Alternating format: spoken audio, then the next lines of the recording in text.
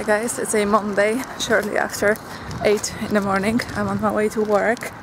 Mondays are always very long days for me because after work we keep meeting with our uh, group and today myself and other friends are going to a famous uh, fringe festival show called Military Tattoo. It's a um, international military show that happens on Edinburgh Castle. The tickets usually get sold out really quickly, and we are really lucky that we managed to get them quite recently. Um, I'm really looking forward to it. The show happens every night, and uh, there are fireworks after that, which I can hear from my window, but uh, I've never actually saw it. As you can see, all of this is a part of Fringe Festival, which I cannot believe is actually coming to an end soon. While leaving a flat, I saw that I totally by accident got color coordinated. So here's my purple jacket, my shoes are purple as well, and my backpack. Wait, I'll try to film it. Can you see? So random acts like this make me very happy. Okay, it's 8 p.m. nearly. I survived work and the meeting after work. Now I'm about to meet my friends and we are going to the military tattoo show, my first show of Fringe Festival, which is embarrassing because it's almost the end of August. Here is Lothian Road, if anybody was interested. And we are going to the Caley Picture House. I don't think they are here. Okay, so my friends arrived. we are in Caley Picture House. This used to be a theater, if I'm correct. Mm. We decided we're not staying, but just for you, I'm going to get inside and show you how beautiful it looks like from the inside. So here you can tell it used to be a theater, and now there is a bar. Here is a place where you can eat food. It's huge, and it has an awesome atmosphere Okay, here is a castle where we are going. We have to go all the way up. We are at the castle and this bit isn't normally here. This is where people sit on that tattoo. They uh, take it down after the festival. So we are nearly there.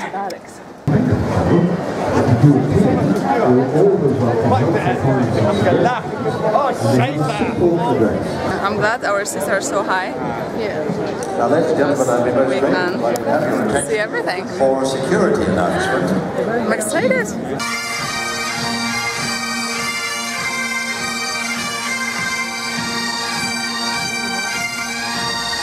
Never seen 45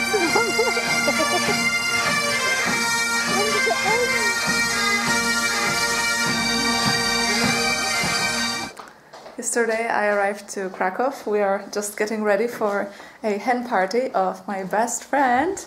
We're getting ready. We're gonna do some hair now. Yeah. Can you see us? I don't think the light is hey. great. And uh, in the meantime, I'm going to buy a painting. My first piece of art, first proper piece of art I will own. I'll show you because it's beautiful painting which I fell in love last time when I was in Krakow, which was a few months ago, and I just needed to come back and to buy it.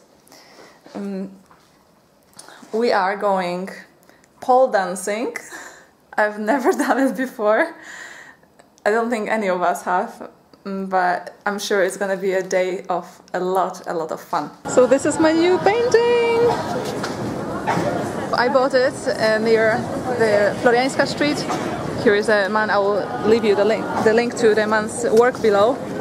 And that's the painting I've chosen to buy for myself because it's exactly how Krakow looks like.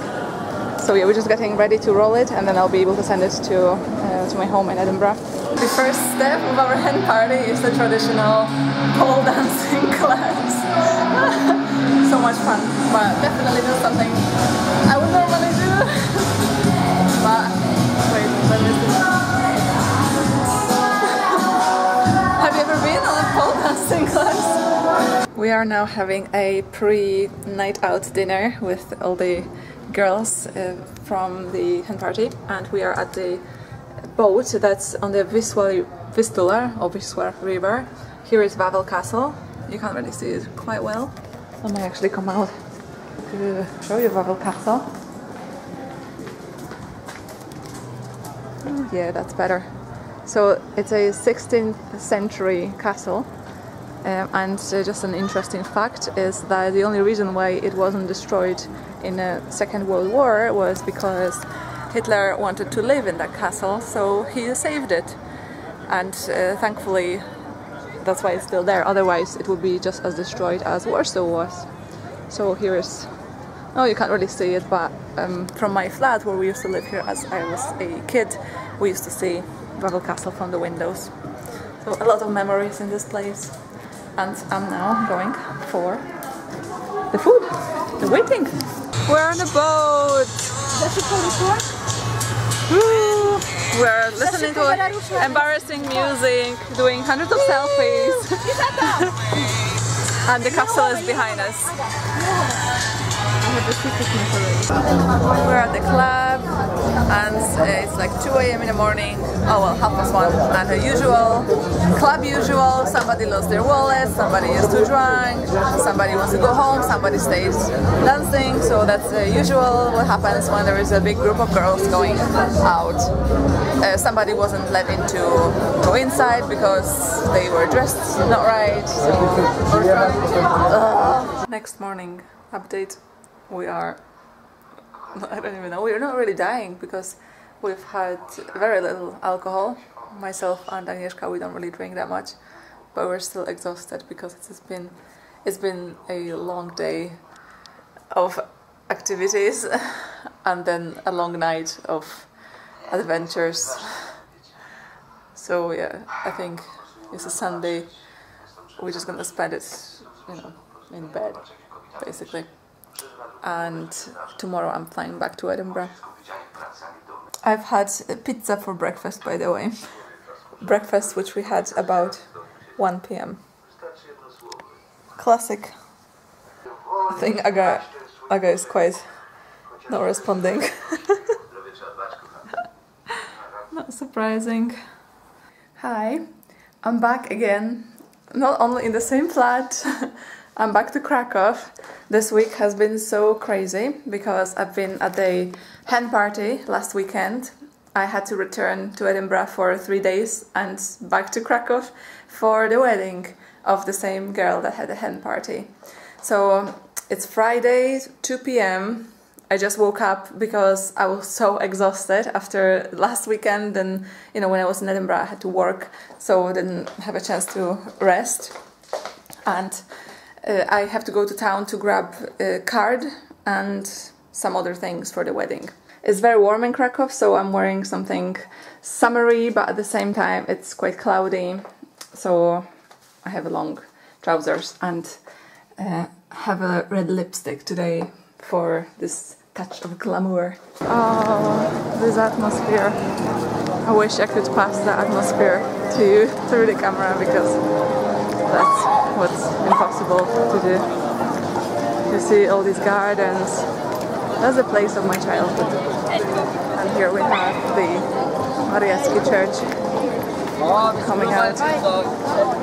So this area is just a half of Market Square. Behind that there is the other half. Mm. The Market Square is the largest in Europe it's one of the largest in the world. My dad would always say that the only one larger is in Mexico. I have a horse that's chasing me. Uh, it's here since 1500s, so it's quite old and it has seen a lot of things happening. You know, wars, all the other occupations, and all the all the bad and good things. That's my hometown, my birth town. People are very friendly and everyone is welcome to come and see this beautiful place. And the thing that I always admire when I come here, and I'm sure many other people too, are beautiful Polish girls. They are very skinny, very beautiful. And I'm sure you will notice it straight away as soon as you arrive to the airport. I've got my wedding cards and we have a little bit of sun how beautiful it is. It's uh, Florianska Street. Hi guys. I'm flying back home today, but before I'm back, I decided to visit my grandma on the cemetery. Unfortunately, I can't find her grave. I remember it when I was a child, but you know, I haven't been for so long. I just can't find it, and I'm gutted. I'm gutted. I have my light, but no grave. Mm, the only reason why I'm filming here is to show you how beautifully decorated the graves are. And um, I know when I had my friend around from the UK, she was amazed because she said she has never seen more decorated graves. and it's not like there was any celebration. This is normal. This is how Polish people remember and treat their uh, dead ones, their loved ones who passed away. And I continue my search for my grandma's grave. Hopefully I'll find it before I have to go.